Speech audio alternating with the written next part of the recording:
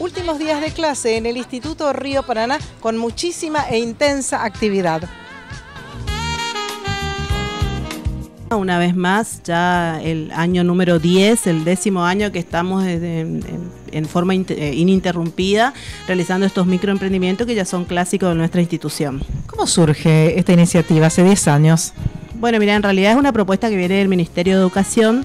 que aquellas instituciones que tienen la orientación en economía y gestión puedan darle la posibilidad a los alumnos de lanzar una empresa, de montar una empresa y poder poner en práctica todo lo que implica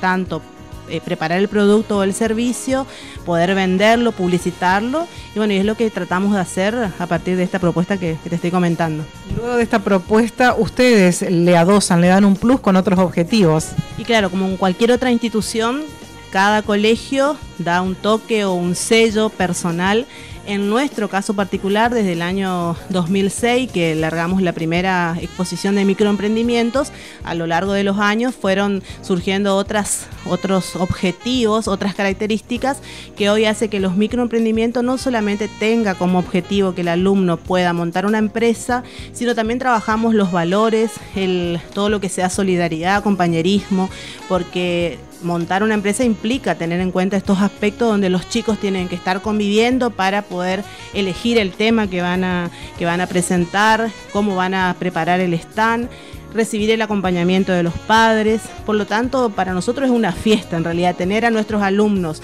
fuera de los salones presentando su trabajo, que realmente hacen de todo para lucirse, porque además después tenemos premios que otorgamos a los mejores están. Y lo más importante el acompañamiento de los papás porque acompañan este e, este nivel de e, esta propuesta educativa que sale del aula verdad entonces realmente eso es muy importante. Estamos trabajando en familia. Te pido una síntesis final a manera de cierre.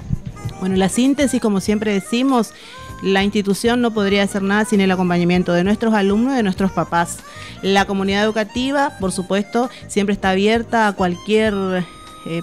padre que esté interesado en que se incorpore a nuestra institución y pueda ver que nuestro trabajo no se limita solamente a transmitir contenidos, sino también valores y permitir que el alumno vaya adquiriendo no solamente los contenidos propios del, nivel, sino también otros valores, otras eh, eh, actividades tan importantes para la formación integral del alumno, como nuestro eslogan dice, Instituto Río Paraná, una educación integral al alcance de todos.